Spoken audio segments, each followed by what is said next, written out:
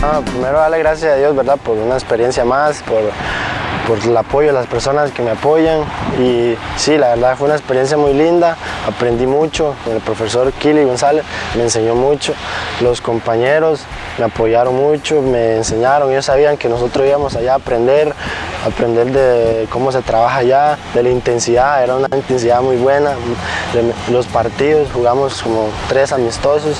Creo que aprendí cómo vivir el fútbol, cómo pasar esa, ese coraje que, que muestran allá. Que puedo aportar también el carácter, las ganas de, de siempre ganar, de, de sacar al equipo adelante porque el escudo, el escudo que llevamos en el pecho cuesta y hay muchas personas que desearían tenerlo. Por supuesto, en este momento fue Rosario de Argentina, pero tenemos mucha relación con, con equipos de México, tenemos relación con equipos de España. Eh, como sabéis, yo estuve siete años en Pachuca, entonces en el momento que nosotros tengamos un, jugador de, ese nivel, las, esas puertas del club las tenemos abiertas, no solo Pachuca, sino otros clubes de México y, el caso de Vidal Paloma, el, encargado de toda la parte eh, táctica y de modelo de juego, el año pasado y el año antepasado era entrenador de la sub-17 del español, entonces, del español de Barcelona.